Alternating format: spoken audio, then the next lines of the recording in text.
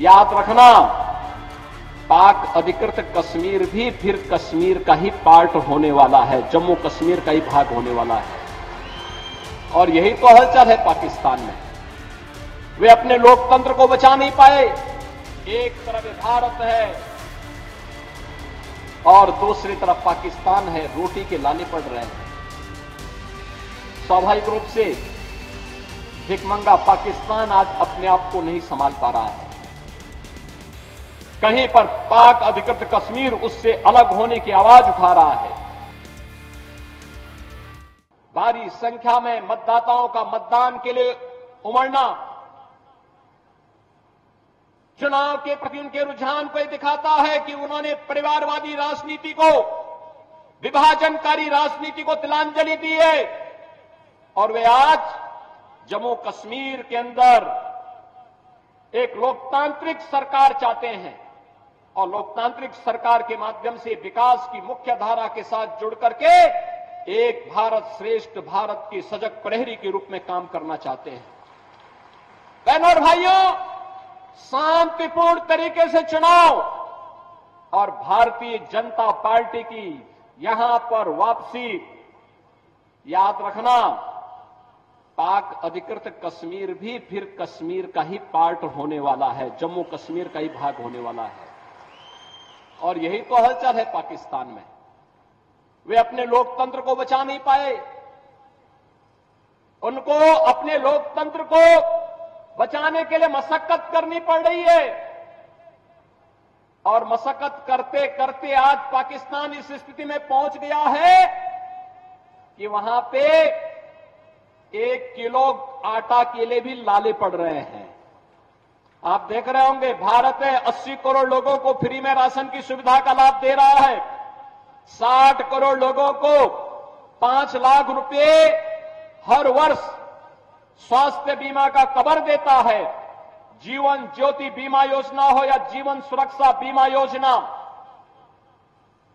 12 करोड़ किसानों को किसान सम्मान निधि का लाभ दे रहा है। 10 करोड़ गरीबों के घर में शौचालय का निर्माण कर रहा है, कर दिया है। 10 करोड़ गरीबों को उज्ज्वला योजना का फ्री का सिलेंडर उपलब्ध करवा चुका है। एक तरफ़ भारत है और दूसरी तरफ़ पाकिस्तान है। रोटी के लाले पड़ रहे हैं। स्वाभाविक रूप से भिकमंगा पाकिस्तान आज अपने आप को नहीं संभाल पा रहा है। कहीं पर पाक अधिकृत कश्मीर उससे अलग होने की आवाज़ उठा रहा है।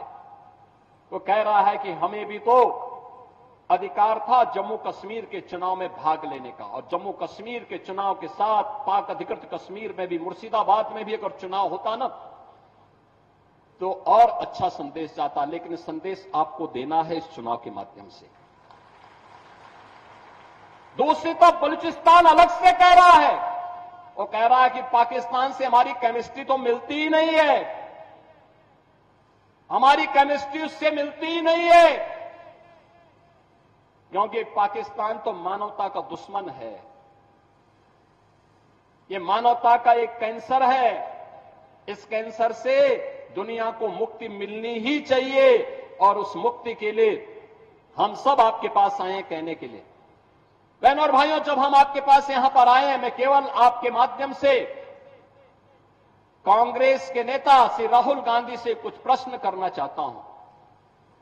मैं पूछना चाहता हूँ उनसे कि जो नेशनल कॉन्फ्रेंस ने जम्मू कश्मीर के लिए अलग झंडे की बात कही है, क्या वह उसका समर्थन करते हैं? क्या राहुल गांधी 370 और 35 ए को वापस ला करके जम्मू कश्मीर को फिर से अशांत और आतंकवाद के युग में धकेलने की नेशनल कॉन्फ्रेंस की मांग का समर्थन करता है। क्या कांग्रेस कश्मीर के युवाओं की कीमत पर पाकिस्तान के साथ वार्ता करके फिर से अलगावाद को बढ़ावा देने का समर्थन करती है। क्या कांग्रेस पार्टी पाकिस्तान के साथ एलओसी ट्रेड शुरू करने के नेशनल कॉन्फ्रेंस के निर्णय से फिर से बॉर्डर पार से आतंकवाद का पोषण करने का समर्थन करती है। क्या कांग्रेस आतंकवाद और पत्थरबाजी की घटनाओं में शामिल लोगों के परिजनों को फिर से सरकारी नौकरी में बहाल करके आतंकवाद, दहशतगर्दी और बंद के दौर को फिर से लाने का समर्थन करती है। क्या कांग्रेस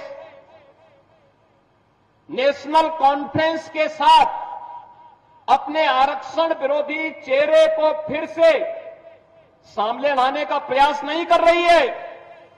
और क्या जो यहाँ पर प्रधानमंत्री मोदी जी ने दलितों को गुजरों को, बकरवालों को, पहाड़ियों को आरक्षण की सुविधा प्रदान की है, क्या नेशनल कॉन्फ्रेंस के द्वारा इन्हें समाप्त करने की घोषणा का क्या वह समर्थन करती है?